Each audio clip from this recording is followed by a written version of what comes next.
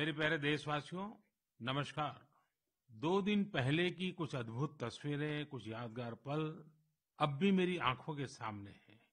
इसलिए इस बार मन की बात की शुरुआत उन्हीं पलों से करते हैं।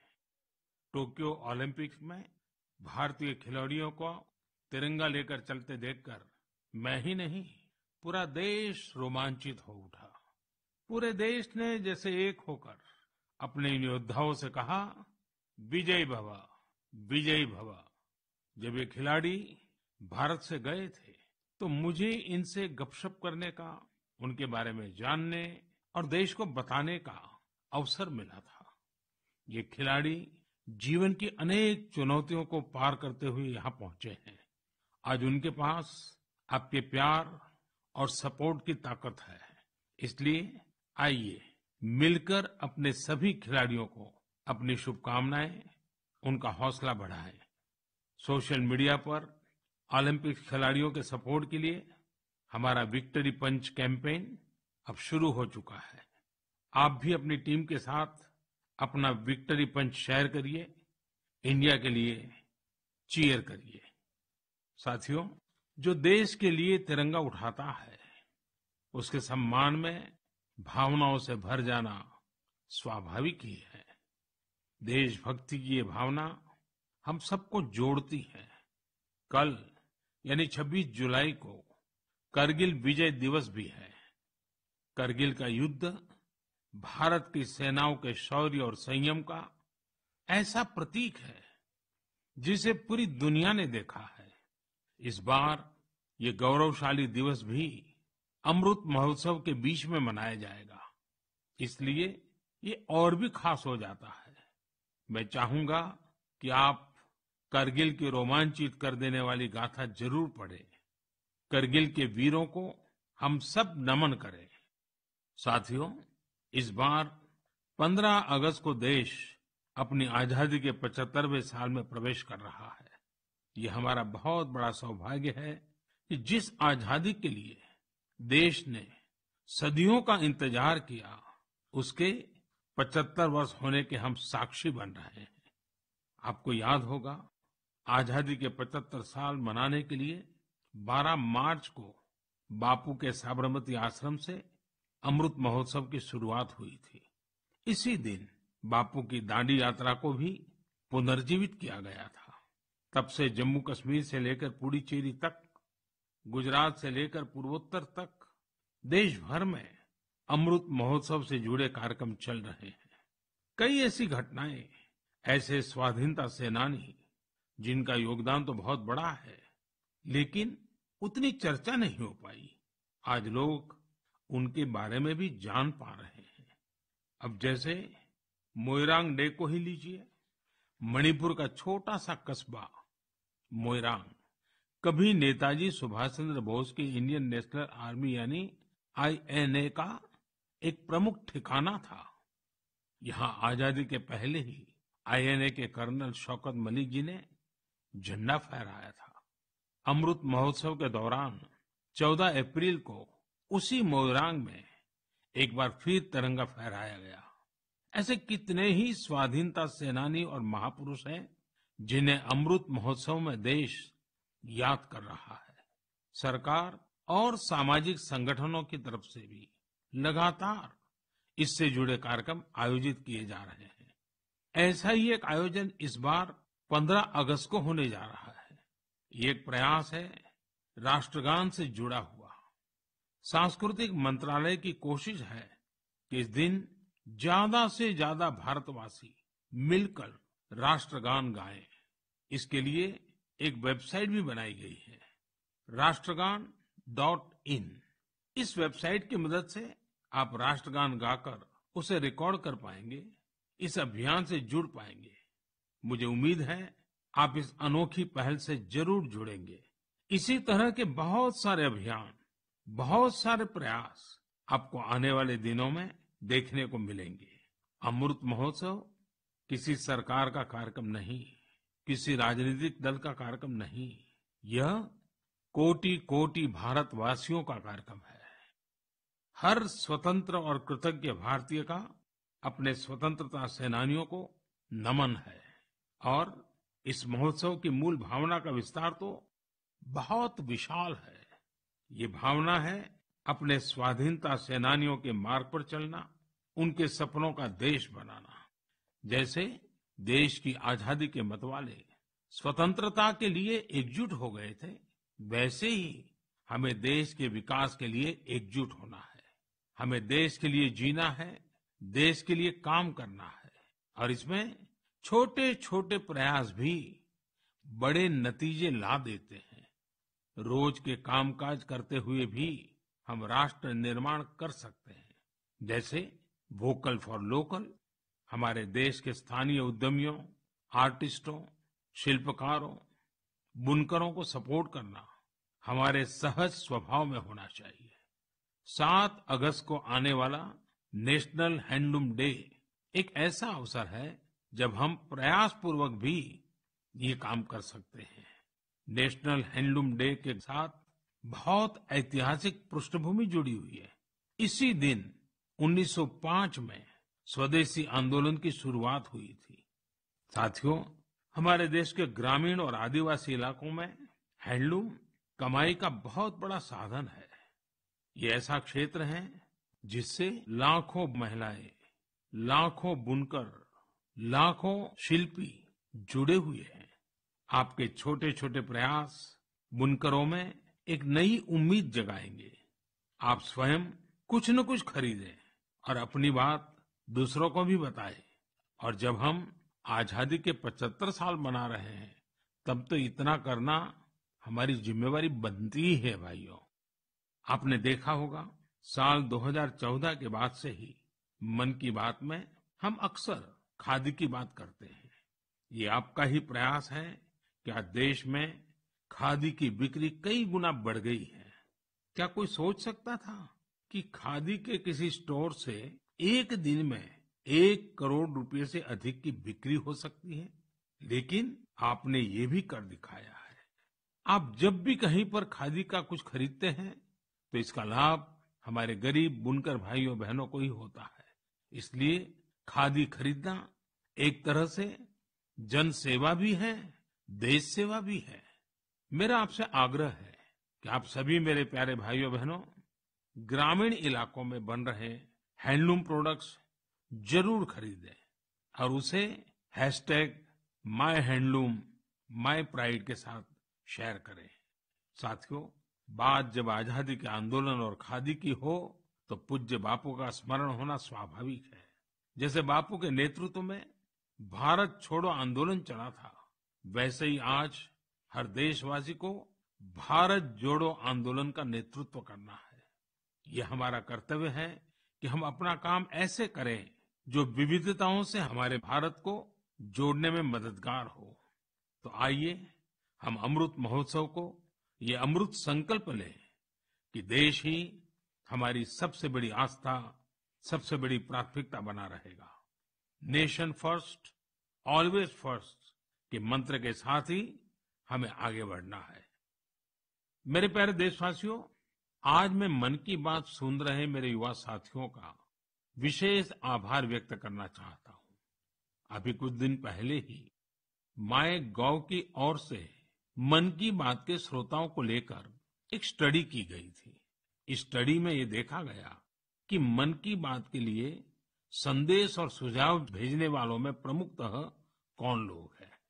स्टडी के बाद ये जानकारी सामने आई कि संदेश और सुझाव भेजने वालों में से करीब करीब 75 प्रतिशत लोग 35 वर्ष की आयु से कम के होते हैं। यानी भारत की युवा शक्ति के सुझाव मन की बात को दिशा दे रहे हैं।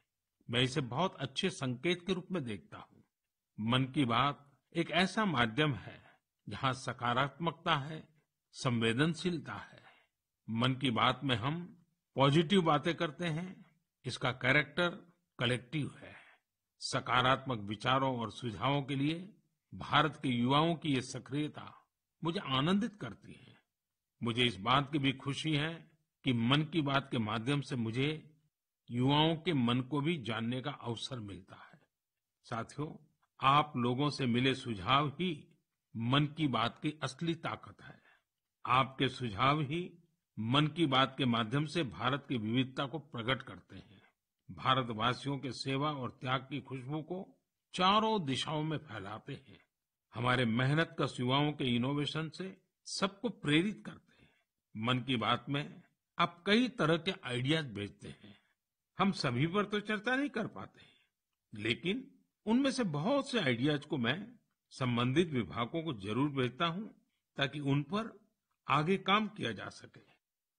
साथियों, मैं आपको साई प्रणीत जी के प्रयासों के बारे में बताना चाहता हूँ। साई प्रणीत जी एक सॉफ्टवेयर इंजीनियर है, आंध्र प्रदेश के रहने वाले हैं। पिछले वर्ष उन्होंने देखा कि उनके यहाँ मौसम की मार की वजह से किसानों को काफ़ी नुकसान उठाना पड़ा था। मौसम विज्ञान में उनकी दिलचस्पी बरसों से थी। इसलिए उन्होंने अपनी दिलचस्पी और अपने टैलेंट को किसानों की भलाई के लिए इस्तेमाल करने का फैसला किया। अब वे अलग अलग डेटा सोर्सेज से वेदर डेटा खरीदते हैं, उसका विश्लेषण करते हैं और स्थानीय भाषा में अलग अलग माध्यमों से किसानों के पास ज़रूरी जानकारी पहुंचाते हैं। वेदर अपडेट्स के अलावा प्रणीत जी अलग अलग क्लाइमेट कंडीशंस में लोगों को क्या करना चाहिए, गाइडेंस भी देते हैं। खासकर बाढ़ से बचने के लिए या फिर तूफ़ान या बिजली गिरने पर कैसे बचा जाए, इस बारे में भी वो लोगों को बताते हैं। साथियों, एक और इस नौजवान सॉफ्टवेयर इंजीनियर का ये प्रयास दिल को छूने वाला है तो दूसरी ओर हमारे एक साथी के द्वारा किया जा रहा टेक्नोलॉजी का उपयोग भी आपको अचंभित कर देगा। ये साथी हैं ओडिशा के संबलपुर ज़िले के एक गाँव में रहने वाले श्रीमान इसाक मुंडा जी। इसाक जी कभी एक दिहाड़ी मजदूर के रूप में काम करते थे, लेकिन अब वे एक इंटरनेट सेंसेशन बन गए हैं। अपने यूट्यूब चैनल से वो काफ़ी रुपये कमा रहे हैं। वे अपने वीडियोस में स्थानीय व्यंजन, पारंपरिक खाना बनाने के तरीके, अपने गाँव, अपनी लाइफस्टाइल परिवार और खान पान की आदतों को प्रमुखता से दिखाते हैं। एक यूट्यूबर के रूप में उनकी यात्रा मार्च 2020 में शुरू हुई थी, जब उन्होंने ओडिशा के मशहूर स्थानीय व्यंजन पखाल से जुड़ा एक वीडियो पोस्ट किया था। तब से वे सैकड़ों वीडियो पोस्ट कर चुके हैं। उनका ये प्रयास कई कारणों से सबसे अलग है, खासकर इसलिए कि इससे शहरों में रहने वाले लोगों को वो जीवन शैली देखने का अवसर मिलता है जिसके बारे में वे बहुत कुछ नहीं जानते। इसाक मुंडा जी, कल्चर और कुजिन दोनों को बराबर मिलाकर के सेलिब्रेट कर रहे हैं और हम सबको प्रेरणा भी दे रहे हैं। साथियों, जब हम टेक्नोलॉजी की चर्चा कर रहे हैं तो मैं एक और इंटरेस्टिंग विषय की चर्चा करना चाहता हूँ। आपने हाल, फ़िलहाल में पढ़ा होगा, देखा होगा कि आईआईटी मद्रास के एलुमनी द्वारा स्थापित एक स्टार्टअप ने एक थ्री प्रिंटेड हाउस बनाया है। थ्री प्रिंटिंग करके घर का निर्माण आखिर ये हुआ कैसे? दरअसल, इस स्टार्टअप ने सबसे पहले थ्री प्रिंटर में एक थ्री डायमेंशनल डिज़ाइन को फ़ीड किया और फिर एक विशेष प्रकार के कंक्रीट के माध्यम से लेयर बाय लेयर एक थ्री स्ट्रक्चर फैब्रिकेट कर दिया। आपको यह जानकर खुशी होगी कि देश भर में इस प्रकार के कई प्रयोग हो रहे हैं। एक समय था जब छोटे छोटे कंस्ट्रक्शन के काम में भी वर्षों लग जाते थे, लेकिन आज टेक्नोलॉजी की वजह से भारत में स्थिति बदल रही है। कुछ समय पहले हमने दुनिया भर की ऐसी इनोवेटिव कंपनीज़ को आमंत्रित करने के लिए एक global housing technology challenge launch किया था। ये देश में अपनी तरह का, अलग तरह का अनोखा प्रयास है। इसलिए हमने इन्हें लाइट हाउस प्रोजेक्ट्स का नाम दिया। फ़िलहाल देश में छह अलग अलग जगहों पर लाइट हाउस प्रोजेक्ट्स पर तेज़ी से काम चल रहा है। इन लाइट हाउस प्रोजेक्ट्स में मॉडर्न टेक्नोलॉजी और इनोवेटिव तौर तरीकों का इस्तेमाल किया जाता है। इससे कंस्ट्रक्शन का टाइम कम हो जाता है। साथ ही जो घर बनते हैं, वो अधिक टिकाऊ, किफायती और आरामदायक होते हैं। मैंने हाल ही में ड्रोन्स के ज़रिए इन प्रोजेक्ट्स की समीक्षा भी की और कार्य की प्रगति को लाइव देखा। इंदौर के प्रोजेक्ट में ब्रिक और मोर्टार वॉल्स की जगह prefabricated sandwich panel system का इस्तेमाल किया जा रहा है। राजकोट में लाइट हाउस फ्रेंच टेक्नोलॉजी से बनाए जा रहे हैं, जिनमें टनल के ज़रिए मोनोलिथिक कंक्रीट कंस्ट्रक्शन टेक्नोलॉजी का इस्तेमाल हो रहा है। इस टेक्नोलॉजी से बने घर आपदाओं का सामना करने में कहीं अधिक सक्षम होंगे। चेन्नई में अमेरिका और फिनलैंड की technologies precast concrete system का उपयोग किया जा रहा है। इससे मकान जल्दी भी बनेंगे और लागत भी कम आएगी। रांची में जर्मनी के थ्री डी कंस्ट्रक्शन सिस्टम का प्रयोग करके घर बनाए जाएँगे। इसमें हर कमरे को अलग से बनाया जाएगा। फिर पूरे स्ट्रक्चर को उसी तरह जोड़ा जाएगा जैसे ब्लॉक टॉयज को जोड़ा जाता है। अगरतला में न्यूजीलैंड की टेक्नोलॉजी का उपयोग कर स्टील फ्रेम के साथ मकान बनाए जा रहे हैं। जो बड़े भूकंप को झेल सकते हैं। वहीं लखनऊ में कनाडा की टेक्नोलॉजी का इस्तेमाल किया जा रहा है। इसमें प्लास्टर और पेंट की ज़रूरत नहीं होगी और तेज़ी से घर बनाने के लिए पहले से ही तैयार दीवारों का प्रयोग किया जाएगा। साथियों, आज देश में ये प्रयास हो रहा है कि ये प्रोजेक्ट इंक्यूबेशन सेंटर्स की तरह काम करे। इससे हमारे प्लानर्स, आर्किटेक्ट्स, इंजीनियर्स और स्टूडेंट्स नई टेक्नोलॉजी को जान सकेंगे और उसका एक्सपेरिमेंट भी कर पाएँगे। मैं इन बातों को खास तौर पर अपने युवाओं के लिए साझा कर रहा हूँ, ताकि हमारे युवा राष्ट्र हित में टेक्नोलॉजी के नए नए क्षेत्रों की ओर प्रोत्साहित हो सके। मेरे प्यारे देशवासियों, आपने अंग्रेज़ी की एक कहावत सुनी होगी to learn is to grow यानी सीखना ही आगे बढ़ना है। जब हम कुछ नया सीखते हैं तो हमारे लिए प्रगति के नए नए रास्ते खुद ब खुद खुल जाते हैं। जब भी कहीं लीक से हटकर कुछ नया करने का प्रयास हुआ है, मानवता के लिए नए द्वार खुले हैं, एक नए युग का आरंभ हुआ है। और आपने देखा होगा, जब कहीं कुछ नया होता है तो उसका परिणाम हर किसी को आश्चर्यचकित कर देता है। अब जैसे कि अगर मैं आपसे पूछूँ कि वो कौन से राज्य हैं जिन्हें आप सेब, एप्पल के साथ जोड़ेंगे तो ज़ाहिर है कि आपके मन में सबसे पहले हिमाचल प्रदेश, जम्मू कश्मीर और उत्तराखंड का नाम आएगा। पर अगर मैं कहूँ कि इस लिस्ट में आप मणिपुर को भी जोड़ दीजिए तो शायद आप आश्चर्य से भर जाएँगे। कुछ नया करने के जज्बे से भरे युवाओं ने मणिपुर में ये कारनामा कर दिखाया है। आजकल मणिपुर के उखरुल ज़िले में सेब की खेती ज़ोर पकड़ रही है। यहाँ के किसान अपने बागानों में सेब उगा रहे हैं। सेब उगाने के लिए इन लोगों ने बाकायदा हिमाचल जाकर ट्रेनिंग भी ली है। इनमें से एक हैं टी एस रिंग फामियोंग ये पैसे से एक एरोनॉटिकल इंजीनियर है। उन्होंने अपनी पत्नी श्रीमती टी एस एंजल के साथ मिलकर सेब की पैदावार की है। इसी तरह अवुंगशी शिमरे ऑगस्टिन ने भी अपने बागान में सेब का उत्पादन किया है। अवुंगशी दिल्ली में जॉब करती थी। ये छोड़कर वो अपने गाँव लौट गई और सेब की खेती शुरू की। मणिपुर में आज ऐसे कई एप्पल ग्रोवर हैं जिन्होंने कुछ अलग और नया करके दिखाया है। साथियों हमारे आदिवासी समुदाय में बेर बहुत लोकप्रिय रहा है। आदिवासी समुदायों के लोग हमेशा से बेर की खेती करते रहे हैं। लेकिन कोविड 19 महामारी के बाद इसकी खेती विशेष रूप से बढ़ती जा रही है। त्रिपुरा के ऊना कोटी के ऐसे ही 32 साल के मेरे युवा साथी हैं विक्रमजीत चकमा। उन्होंने बेर की खेती की शुरुआत कर काफ़ी मुनाफा भी कमाया है और अब तो लोगों को बेर की खेती करने के लिए प्रेरित भी कर रहे हैं। राज्य सरकार भी ऐसे लोगों की मदद के लिए आगे आई है। सरकार द्वारा इसके लिए कई विशेष नर्सरी बनाई गई है ताकि बेर की खेती से जुड़े लोगों की मांग पूरी की जा सके। खेती में इनोवेशन हो रहे हैं तो खेती के बाय प्रोडक्ट्स में भी क्रिएटिविटी देखने को मिल रही है।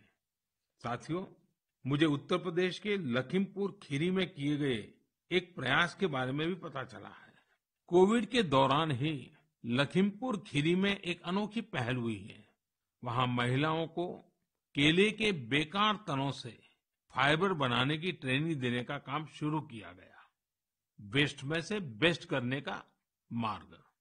केले के तने को काटकर मशीन की मदद से बनाना फाइबर तैयार किया जाता है।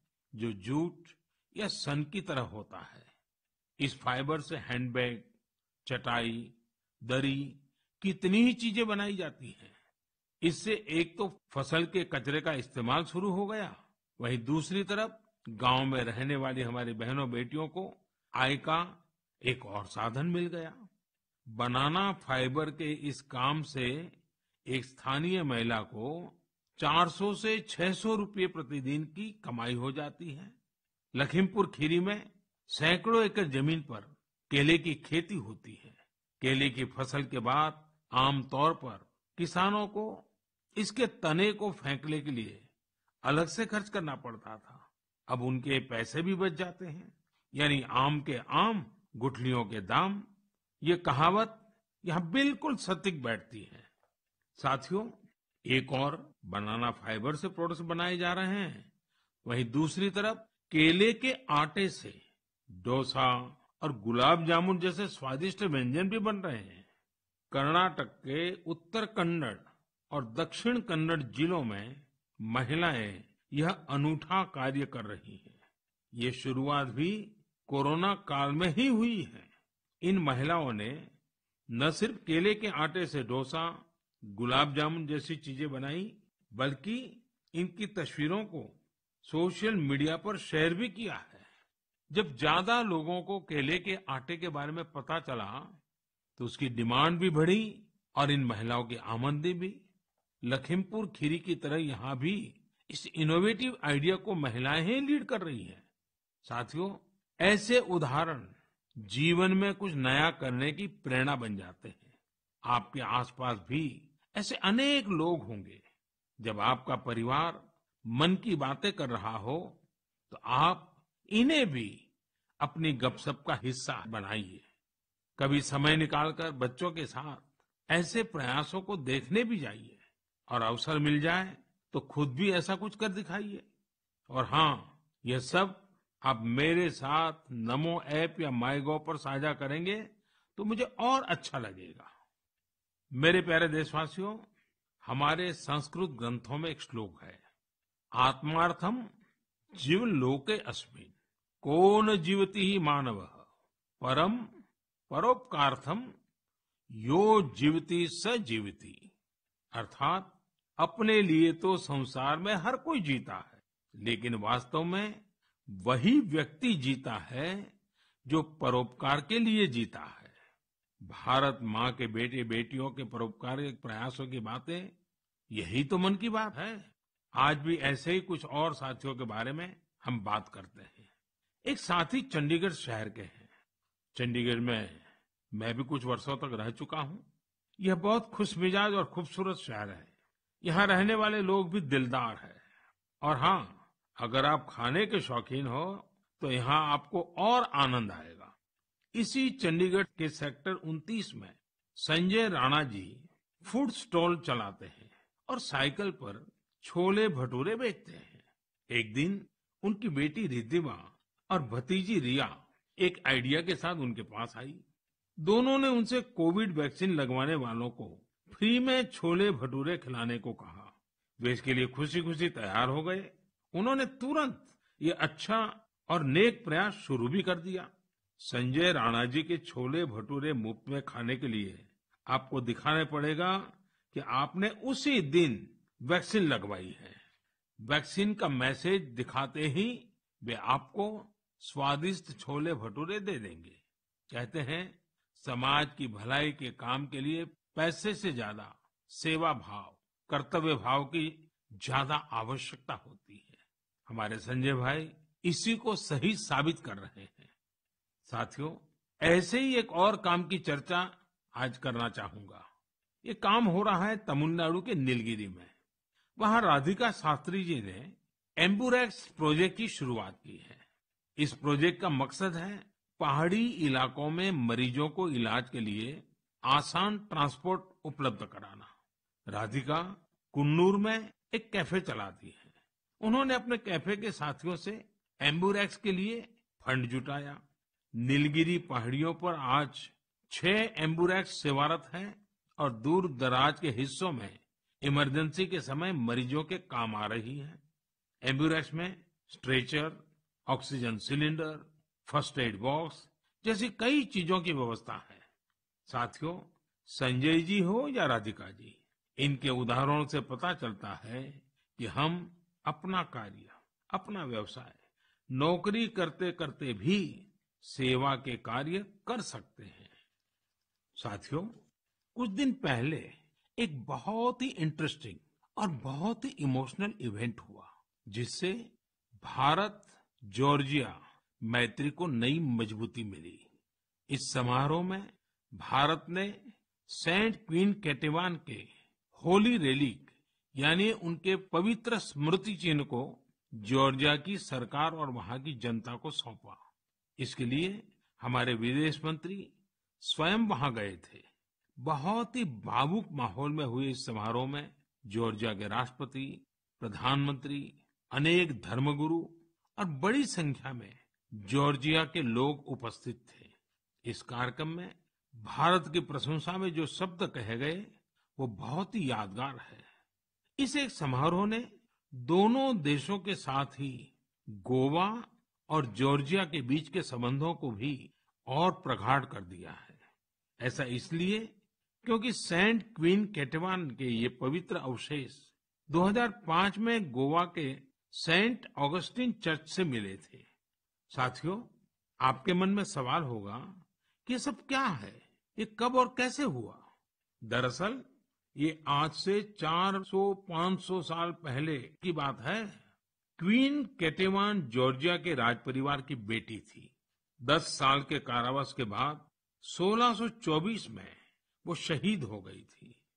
एक प्राचीन पुर्तगाली दस्तावेज़ के मुताबिक सेंट क्वीन केटेवान की अस्थियों को ओल्ड गोवा के सेंट ऑगस्टिनियन कॉन्वेंट पे रखा गया था। लेकिन लंबे समय तक यह माना जाता रहा कि गोवा में दफनाए गए उनके अवशेष 1930 के भूकंप में गायब हो गए थे। भारत सरकार और जॉर्जिया के इतिहासकारों, रिसर्चर्स, आर्कियोलॉजिस्ट और जॉर्जियन चर्च के दशकों के अथक प्रयासों के बाद 2005 में उन पवित्र अवशेषों को खोजने में सफलता मिली थी। ये विषय जॉर्जिया के लोगों के लिए बहुत ही भावनात्मक है। इसलिए उनके हिस्टोरिकल, रिलीजियस और स्पिरिचुअल सेंटिमेंट्स को ध्यान में रखते हुए भारत सरकार ने इन अवशेषों का एक अंश जॉर्जिया के लोगों को भेंट में देने का निर्णय लिया। भारत और जॉर्जिया के साझे इतिहास के इस अनूठे पक्ष को संजोए रखने के लिए मैं आज गोवा के लोगों को हृदय से धन्यवाद देना चाहूँगा। गोवा कई महान आध्यात्मिक धरोहरों की भूमि रही है। सेंट ऑगस्टिन चर्च, यूनेस्को की world heritage site, churches and convents of Goa का एक हिस्सा है। मेरे प्यारे देशवासियों, जॉर्जिया से अब मैं आपको सीधे सिंगापुर लेकर चलता हूँ, जहाँ इस महीने की शुरुआत में एक और गौरवशाली अवसर सामने आया। सिंगापुर के प्रधानमंत्री और मेरे मित्र ली सेन लुंग ने हाल ही में रिनोवेट किए गए सिलाट रोड गुरुद्वारा का उद्घाटन किया। उन्होंने पारंपरिक सिख पगड़ी भी पहनी थी। यह गुरुद्वारा लगभग सौ साल पहले बना था और यहाँ भाई महाराज सिंह को समर्पित एक स्मारक भी है। भाई महाराज सिंह जी ने भारत की स्वतंत्रता के लिए लड़ाई लड़ी थी और ये पल आज़ादी के 75 साल मना रहे हैं, तब और अधिक प्रेरक बन जाता है।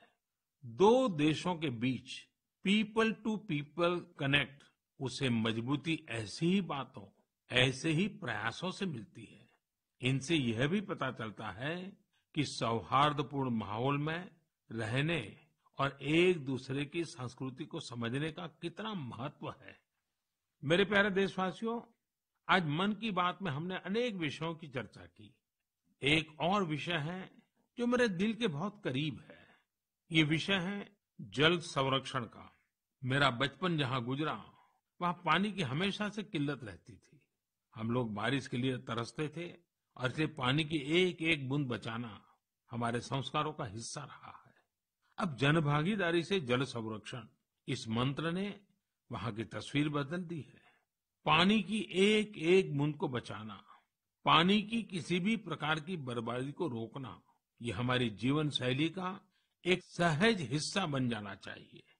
हमारे परिवारों की ऐसी परंपरा बन जानी चाहिए जिससे हर एक सदस्य को गर्व हो। साथियों, प्रकृति और पर्यावरण की रक्षा भारत के सांस्कृतिक जीवन में, हमारे दैनिक जीवन में रचा बसा हुआ है। वहीं बारिश और मानसून हमेशा से हमारे विचारों, हमारी फिलोसॉफी और हमारी सभ्यता को आकार देते आए हैं। ऋतु संहार और मेघदूत में महाकवि कालिदास ने वर्षा को लेकर बहुत ही सुंदर वर्णन किया है। साहित्य प्रेमियों के बीच ये कविताएँ आज भी बेहद लोकप्रिय है। ऋग्वेद के पर्जन्य सूक्तम में भी वर्षा के सौंदर्य का खूबसूरती से वर्णन है। इसी तरह श्रीमद् भागवत में भी काव्यात्मक रूप से पृथ्वी, सूर्य और वर्षा के बीच के संबंधों को विस्तार दिया गया है। अष्टौ मासान निपितम यद भूम्या च ओदमयम वसु। स्वगोभि मक्तुम आरेभे, पर्जन्य काल आगते। अर्थात सूर्य ने आठ महीने तक जल के रूप में पृथ्वी की संपदा का दोहन किया था। अब मानसून के मौसम में सूर्य इस संचित संपदा को पृथ्वी को वापस लौटा रहा है। वाकई मानसून और बारिश का मौसम सिर्फ़ खूबसूरत और सुहाना ही नहीं होता, बल्कि यह पोषण देने वाला, जीवन देने वाला भी होता है। वर्षा का पानी जो हमें मिल रहा है, वो हमारी भावी पीढ़ियों के लिए है। ये हमें कभी भूलना नहीं चाहिए। आज मेरे मन में ये विचार आया कि क्यों न इन रोचक संदर्भों के साथ ही मैं अपनी बात समाप्त करूँ। आप सभी को आने वाले पर्वों की बहुत बहुत शुभकामनाएँ। पर्व और उत्सवों के समय ये ज़रूर याद रखिएगा कि कोरोना अभी हमारे बीच से गया नहीं है। कोरोना से जुड़े प्रोटोकॉल आपको भूलने नहीं है। आप स्वस्थ और प्रसन्न रहें। बहुत बहुत धन्यवाद।